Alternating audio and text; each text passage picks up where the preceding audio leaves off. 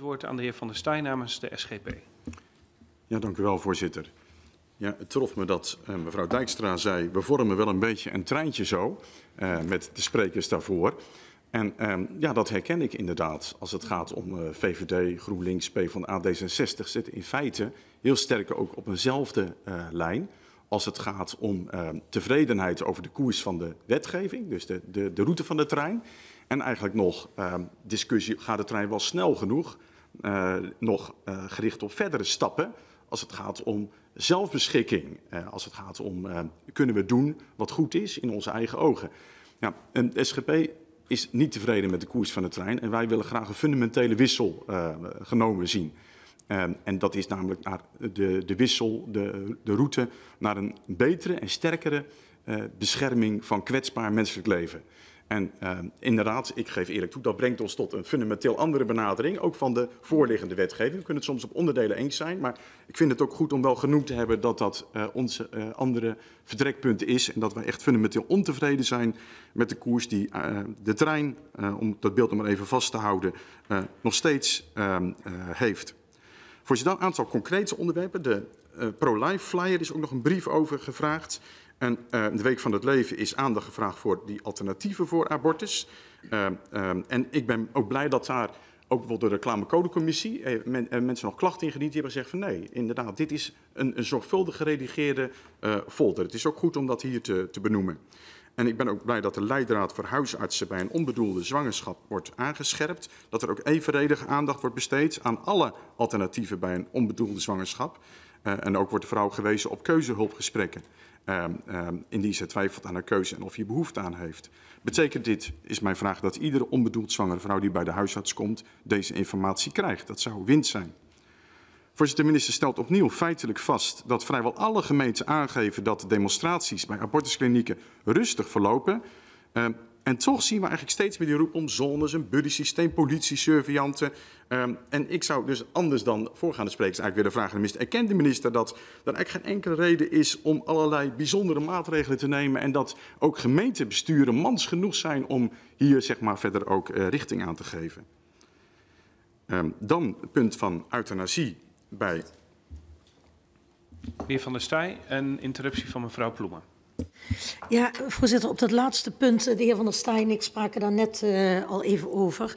Uh, kijk, wij kunnen verschillend denken over uh, de keuzevrijheid van vrouwen. Uh, dus laten we vaststellen, we denken daar anders over.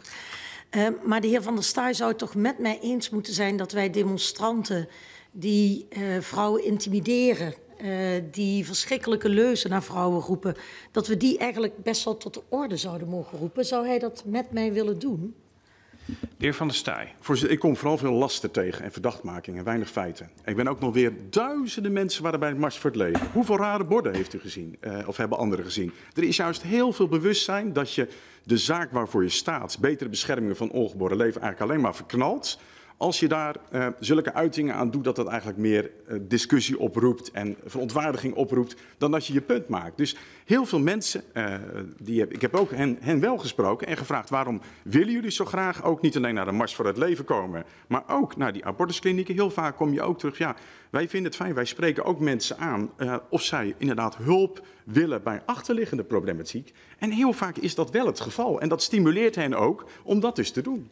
Uh, dus dat is hoe ik erin sta. Mevrouw Ploemen. Ja, voorzitter, dat laatste is, uh, laten we zeggen, de, het nieuwe uh, mantra van uh, de anti-abortus demonstranten. maar dat was mijn vraag niet. Mijn vraag is, wil de heer Van der Staaij samen met mij en een aantal collega's veroordelen dat vrouwen zich geïntimideerd voelen door mensen die roepen, u heeft bloed aan uw handen, u bent een kindermoordenaar. Uh, dat kan toch ook niet passen, dat zeg ik echt in alle oprechtheid bij, ook bij de religieuze oriëntatie van de heer Van der Staaij. Ik bedoel, ik ben opgegroeid met een God die toch vooral vergevingsgezind is, maar die ook wel streng is als je andere mensen uh, pijn doet, terwijl ze dat op geen enkele manier verdienen. Dat zou de heer Van der Staaij, die oproep zou die toch moeten kunnen steunen. De heer Van der Staaij. Voorzitter, natuurlijk is het niet uh, de inzet en moet het niet de inzet zijn van, om mensen veroordelen en toe te spreken. Integendeel. Dus, maar alleen, ik zeg er wel bij, ik merk dat er heel veel uh, laster ook is dat dat aan de orde zou zijn en dat die feiten gewoon niet zijn. Dat er beelden vanuit Amerika of zo worden aangehaald. Dat is niet het beeld wat ik herken dat aan de orde is. En, uh, en inderdaad, uh, geen enkel misverstand. Ik vind dat mensen ten alle tijden respectvol tegemoet getreden moeten worden. Zo voer ik zelf ook gesprekken, ook met mensen die zeggen, nou, wij zijn ontevreden met jullie standpunten, ga ik graag over in gesprek. En nooit vanuit een veroordeling naar mensen toe, maar wel over van met, uh, met respect naar ieder mens. En tegelijkertijd, zoals we allemaal ook onze opvattingen hebben over wat hierin goed en kwaad is. Um, dan een interruptie van mevrouw Ellemeet. Voorzitter, ik kreeg, volgens mij was vorige week, het bericht dat uh, twee uh, vrouwen um, uh, huilend in een kliniek terechtkwamen omdat zij zich geïntimideerd voelden. Zegt mevrouw van der Staaij dan dat deze meneer vrouw, of meneer, excuus, meneer van der Staaij dan dat deze vrouwen zich aanstellen? Meneer van der Staaij. Voorzitter, uh, mevrouw van der Staaij praat ik ook over dit onderwerp. Dus ik weet ook toevallig haar mening. En die zal juist ook zeggen, uh, ze studeert ook nog psychologie op het moment, dat het ongelooflijk belangrijk is om natuurlijk mensen altijd respectvol tegemoet te treden. En nooit vanuit een veroordeling, laat staan met scheldwoorden. Dat zou niet iemand zijn hoofd moeten opkomen. En als daar mensen uh, naar binnen gaan en dat heeft te maken met die bejegening, dan zou ik zeggen, koppel dat ook vooral terug aan degene die daar dan ook uh, de vergunning hebben om daar te staan. Want het is heel goed dat men dat ook weet. Kijk, iets anders is als mensen ook gewoon sowieso. Het is ook natuurlijk wel een emotioneel, uh, emotionele zaak sowieso waar zij te maken hebben. Dus het hoeft niet per se natuurlijk het gevolg ook te zijn van uh, als ze aangesproken zijn. Maar als dat wel het geval is, moet dat teruggekoppeld worden, want dat is niet de bedoeling. Mevrouw Ellemeet. Voorzitter, ik, ik vat het maar even zo uh, samen dat meneer Van der Staaij met GroenLinks eens is dat uh, sommige vrouwen zich geïntimideerd voelen en dat dat onwenselijk is. Uh, de heer Van der Staaij zei ook, ja, maar vrouwen hebben ook behoefte aan uh, een goede informatie en een goede afweging. Is hij dan niet van mening dat die goede begeleiding geboden wordt in die abortusklinieken? De heer Van der Staaij. Onvoldoende, ja. Dat is mijn mening dat het onvoldoende geboden wordt. Er zijn zo ontzettend veel verhalen van vrouwen die zeggen van... als ik beter geholpen was, dan had ik niet voor die abortus gekozen. Er hebben talloze voorbeelden, verhalen van... Ik heb ook een wetsvoorstel ingediend die uh, wat erin voorziet, uh, nu voor advies bij Raad van State... waarin ik ook met allerlei voorbeelden komt van vrouwen die dat ook naar voren gebracht hebben. Mm. Ik zal even te kijken hoeveel... Ja, u kunt afrondend nog iets zeggen. Dat vind ik echt een hele ja, schokkende opmerking. En dit, is, dit zijn artsen, abortusartsen, die uh, zorgvuldig worden opgeleid. Die, um, uh, die vrouwen, die vaak zelf al weten wat ze willen, maar mochten ze daar nog over twijfelen, daar zorgvuldig in begeleiden. En nu zegt de SGP dat die zorg ontoereikend is en sturend. En dat vind ik heel erg ver gaan. De heer Van der Staaij. Ja, voorzitter, ik zou het ook niet zelf verzinnen als ik niet vrouwen heb gesproken die dat zelf ervaren hebben. Dus ik hoop niet dat GroenLinks zegt van nou, omdat de artsen goed opgeleid zijn, geloven we vrouwen niet die zeggen van um, wij hebben in de praktijk onvoldoende die alternatieven aangeboden gekregen. En als wij beter hulp hadden gekregen op de onderliggende problematiek, hadden wij andere keuze, had ik andere keuze gemaakt. Of ben ik blij dat ik, dat ik nog wel met hulpverleners in contact kwam, maar niet via de artsen, waardoor ik andere keuzes heb gemaakt. Mevrouw Dijkstra. Nou, voorzitter, ik zit heel erg te aarzelen of ik uh, nog een keer, want het gaat heel erg een herhaling van zetten worden. Dus ik laat deze even voorbij gaan. Prima. Ik, uh, Hartelijk nee, dank. Ik, ik, dan moet ik ook niks zeggen. Nee. nee, dan moeten we consequent proberen te blijven. Ik geef het woord aan de heer Van der Staaij. Ik ben het met mevrouw Dijkstra eens. um, voorzitter, over euthanasie uh, bij kinderen. Wij maken ons grote zorgen over het pleidooi voor kindereuthanasie. Het kabinet komt met begin 2020 met een reactie. Uh, en ik hoop dat er in ieder geval ook ingaan wordt op die punten als de verbeteringen die mogelijk zijn voor de palliatieve zorg voor kinderen. Zo blijkt, en ik ben ook benieuwd welke verbeteringen daar voorgesteld worden. Uh, ik vind het ook belangrijk om nog te benoemen dat een zeer ruime meerderheid van de artsen geeft aan kindereuthanasie in de praktijk nooit nodig te hebben gehad. En daarnaast bedrijven de onderzoekers dat zij uh, niet zijn tegengekomen dat kinderen jonger dan 12 jaar zelf om euthanasie verzochten. Ik denk dat het belangrijk is dat daar ook op uh, gereflecteerd wordt. Uit interviews kwam naar voren dat in twee gevallen was gekozen voor het onthouden van voeding en vocht bij niet-terminale kinderen. En daar is ook veel aandacht naar uitgegaan. Uh, mijn vraag is ook, is deze gang van zaken binnen de huidige kaders ook gangbaar? Ehm, dat er ook eigenlijk wordt gekozen voor onthouden van voeding en vocht, terwijl er eigenlijk niet sprake is van een terminale fase. Voorzitter, dan is ook... Uh, meneer. Van der Staaij, en ik zie hier een interruptie van mevrouw Tellegen. Um, ja, de heer Van der Staaij uh, citeert uit het, uh, uit het rapport. Ik heb, ik heb een vraag. Wat vindt de heer Van der Staaij van het feit dat wij in Nederland een hele zorgvuldige euthanasiewetgeving hebben? Die op dit moment geldt voor kinderen van 0 tot 1 en voor mensen vanaf 12. Wat moet er dan met die kinderen gebeuren tussen 1 en 12? Daar is geen wettelijke regeling voor. En u heeft net in uw eigen vraag aan mij gehoord wat ik daarvan vind. Ik zeg niet dat ik een carte blanche voor al die gevallen wil creëren, helemaal niet. Maar als last resort is er op dit moment geen wettelijk kader. Er is gewoon een lacune in een wet waar we met z'n allen tien, langer dan tien jaar over hebben gedaan om die wet te maken. Ik vind het gewoon los van de inhoud al uh, raar dat we dat met z'n allen hier toestaan. Wat vindt u daarvan? Wat vindt de heer Van der Staaij daarvan? Voorzitter, ik vind het geen lacune. Ik vind het een doordachte keus die gemaakt is in het verleden. Uh, omdat we namelijk zeiden, uh, we hebben het wel over het doden van menselijk leven. Uh, ook hier, waar, zowel bij abortus als bij euthanasie. Dat is wel het gewicht van die onderwerpen ook. Daar, hoe je hier ook over denkt, dat is feitelijk wat er aan de hand is. En als je dat, de VN heeft ook nog gezegd, nou, als je in dat perspectief kijkt wat hier gebeurt, hebben wij wel heel veel vraagtekens bij eigenlijk ook de. Uh, daar is ook nog een brief over bij de stukken, bij wat er in Nederland gebeurt. Uh, en de doordachte keuze was dan, als je al voor euthanasie kiest, moet er in ieder geval wel sprake zijn van wilsbekwaamheid. Nou, en vervolgens, wat we vervolgens weer gaan doen, is ook aan die wilsbekwaamheid weer allerlei uh, relativeringen plaatsen. En zeggen, ja, maar toch een bijzondere situatie dit, bijzondere situatie dat. Dus voor mij is dat alleen maar een illustratie met het feit dat met de keuze voor euthanasie, zoals we dat gedaan hebben, in feite er geen einde is. En het hek van de dam is daarmee in situaties om euthanasie toe te passen, ook bij wilsonbekwamen. En dat vind ik schokkend. Mevrouw Tellegen.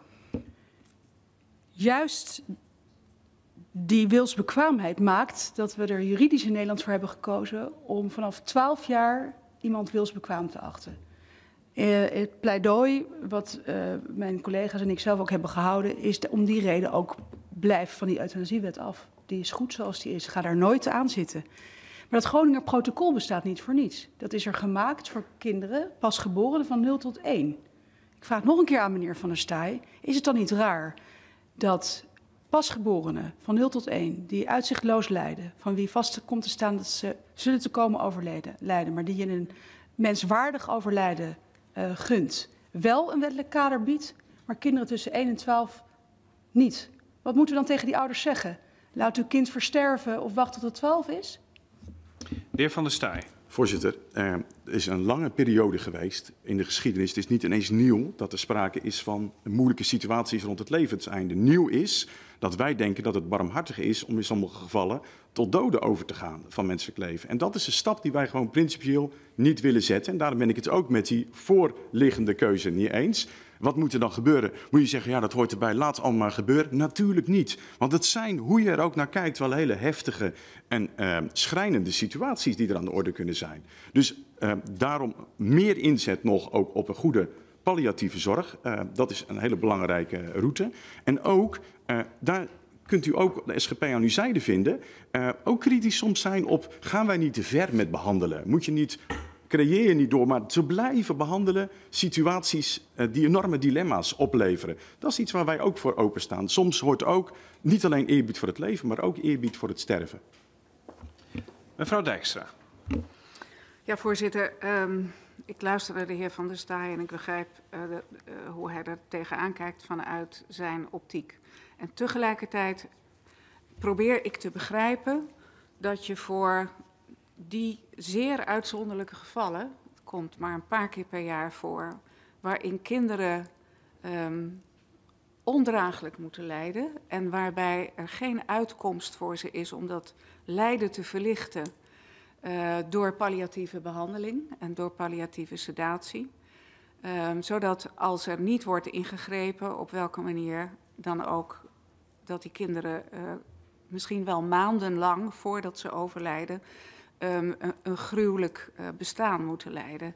En of dan juist niet in die gevallen, dat vraag ik toch aan de heer Van der Staaij, sprake is van barmhartigheid, ook in de bijbelse zin van het woord. Um, van barmhartigheid als je die kinderen helpt. De heer Van der Staaij. Voorzitter, barmhartigheid is, is voor mij verbonden met het helpen van mensen, eh, zoals de barmhartige Samaritaan. En ik vind het doden van mensen daar niet onder vallen. Eh, dan vind ik dat we echt gewoon principieel een grens overgaan. En dat is toch wat er in feite wel gebeurt. Dat vind ik gewoon menselijke overmoed. Eh, en nogmaals, goede palliatieve zorg. Ook soms op een gegeven moment niet eindeloos doorgaan met behandeling. Uh, maar, en ook met palliatieve sedatie. Heb je ook soms reële mogelijkheden om echt vergaand ook pijn te, te verlichten. Dus ik vind dat ook het beeld of dat ook echt nodig is in de praktijk. Ik heb ook mijn oor te luisteren gelegd bij kinderartsen. En er zijn er ook in een hele lange en uitgebreide praktijk die zeggen... voor mij uh, is dat in mijn praktijk eigenlijk nooit een behoefte geweest om daarmee te komen. Het hangt ook weer sterk samen met uiteindelijk hoe je erover denkt ten diepste. Mevrouw Dijkstra. Ja, maar er zijn nou juist, en dat is uit dit rapport ook naar voren gekomen... er zijn ouders ook en kinderartsen die toch te maken krijgen met kinderen. Het zijn er maar een paar. Dat geef ik onmiddellijk toe. Er zijn helemaal niet, het is niet zo dat elke kinderarts in Nederland met deze vraagstukken te maken krijgt of met deze patiëntjes. Het is heel uitzonderlijk. En juist voor die uitzonderlijke situaties, daar moeten we nu op dit moment de, de ouders, de kinderen niet te vergeten, de patiëntjes uh, en de artsen in de kou laten staan, omdat we zeggen, uh, daar, is, daar, daar, mag, daar mag dit niet plaatsvinden. En en mijn vraag is toch nog opnieuw uh, of de heer Van der Staaij, want het gaat natuurlijk ook, als je het hebt over uitgangspunten en principes, uh, gaat het over um, de functie van je geweten. Wil je zoiets op je geweten hebben, dat wij dat gewoon niet willen regelen? De heer Van der Staaij. Voorzitter, um, wil je het op je geweten hebben om het niet te regelen, laat je mensen niet in de kou staan. Ik vind dat echt een verwerpelijk taalveld. Ik vind dat je daarmee echt precies een situatie creëert waardoor de euthanasie steeds verder gegaan is in Nederland. Ik denk echt fundamenteel anders. Ik vind het verschrikkelijk dat mensen in Nederland soms makkelijker aan hun euthanasie komen dan aan goede, passende zorg. Ik vind het verschrikkelijk dat mensen met dementie soms uit angst voor een onwaardige situatie waarin ze terecht zouden kunnen komen, denken dat euthanasie beter is. Ik ze wil echt voluit en alleen inzetten op een zo goed mogelijke zorg. En ik weiger de verbinding te maken dat dat mensen in de kou uh, laat staan is. Mevrouw Dijkstra. Nou, een, een afrondende opmerking, voorzitter. Want um, de heer Van der Staaij zegt, ja, die taal wil ik niet gebruiken. Hij gaat meteen door naar uh, euthanasie, uh, die we goed geregeld hebben, en de zorg. En het gaat hier juist om kinderen voor wie alle aandacht is en, en multidisciplinaire aandacht is. Iedereen houdt zich ermee bezig. En op een gegeven moment wordt er gezegd, ja, we kunnen helemaal niets meer oplossen. Maar ik begrijp dat de heer Van der Staaij vindt dat dat um, ja, dan toch uh, overgeleid, dat, dat zo'n kind dan toch uh, maar in leven moet blijven, ondanks een uh, afschuwelijk lijden. De heer Van der Staaij. Ja, voorzitter, het heeft ook te maken, dat zijn natuurlijk ook fundamentele verschillende visies, dat je, ik heb ook wel eens iemand gehoord zeggen van, ik vind dat lijden eigenlijk nooit bij het leven hoort, dat we dat altijd eigenlijk moeten uitbannen. Dat is, nee, dat zegt mevrouw Dijkstra niet, maar ik heb wel dat in interviews ook van mensen die dit bepleit gelezen. En daarvan zeg ik van, ik wil er absoluut niet makkelijk over spreken. Ik heb ook gecommuniceerd met mensen via de mail uh, die hier zelf mee te maken hebben gehad. Dus ik heb alle begrip voor mensen die hierin uh, voor hele lastige afwegingen zich gesteld voelen. En dat het soms heel pijnlijk is om ook kinderen te zien lijden. Dat is voor jezelf ook verschrikkelijk. Uh, dus, dus geen mis, ik wil daar niet makkelijk over praten. Maar tegelijkertijd heb ik ook mensen gesproken die zeggen van ja, uh, ik merk dat er ook bij rond een, een, een hele moeilijke en pijnlijke situatie sprake is van lijden. Uh, waarvan op een gegeven moment wij ook moeten berusten dat wij niet verder daarin kunnen komen met onze menselijke mogelijkheden. En dat we. Ja, dat, dat, maar dat is dan inderdaad uh, het punt waarop de, de wegen uiteen gaan.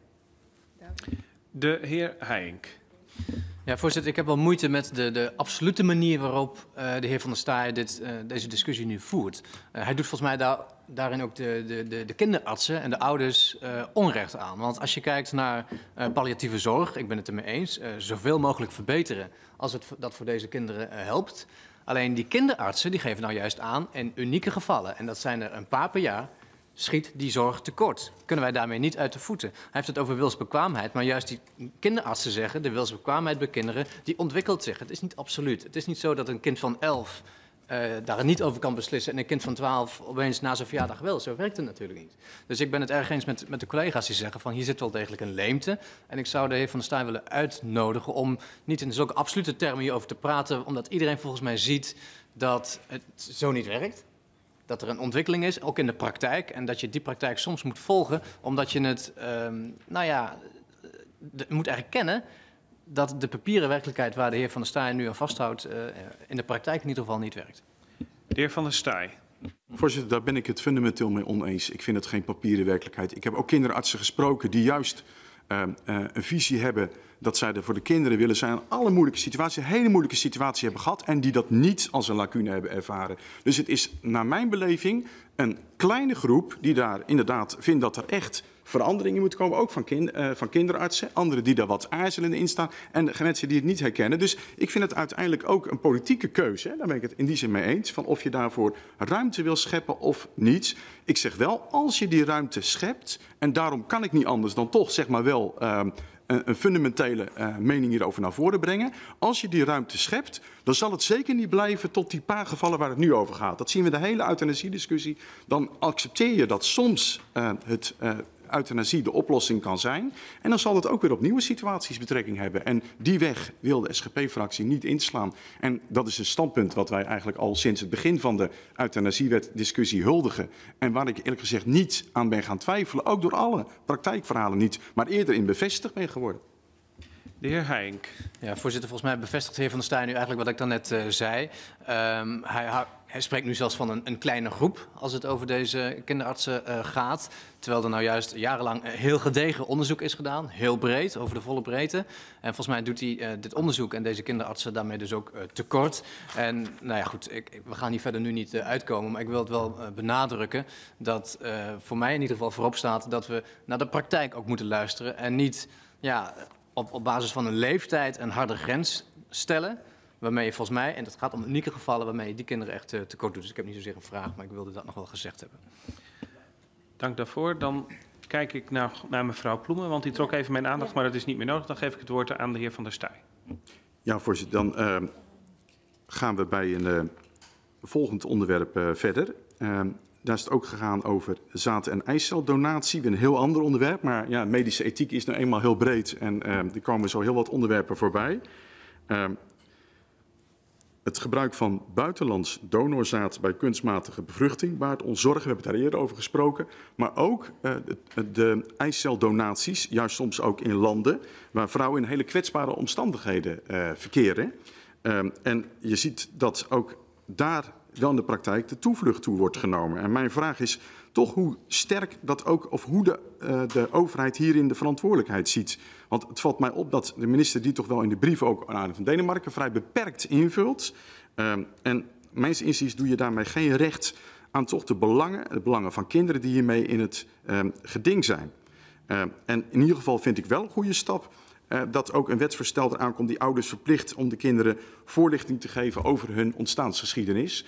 Uh, we hebben het erover gehad bij het algemeen overleg meer ouderschap. In deze brief komt het ook terug. Dat is wel een goede stap, maar wat ons betreft zouden er nog uh, ook meer maatregelen genomen moeten worden om te voorkomen dat zeg maar, de Nederlandse waarborgen ook uh, omzeild worden door tot het buitenland te toevlucht te nemen. Voorzitter, dan tot slot nog over uh, het levenseinde. Ik weet niet of ik nog tijd, uh, hoeveel tijd... U heeft nog drie seconden, maar als u heel snel kunt zijn, dan uh, kan u uw laatste punt ook nog maken. Drie seconden voor een levenseinde is inderdaad wel wat kort. nou, dan, geef ik u, dan geef ik u iets meer, maar als u dan echt kunt afronden, dan kunnen we naar de heer Heink. Ik bezocht pas een hospice waar het verteld, sommige mensen komen met een euthanasiebriefje onder de arm binnen, maar door de goede zorg en ondersteuning blijkt dat in de praktijk haast niet nodig. Hoe staat het met de campagne bewustwording palliatieve zorg, is mijn vraag nog aan de minister. Dank u wel, voorzitter. Nou,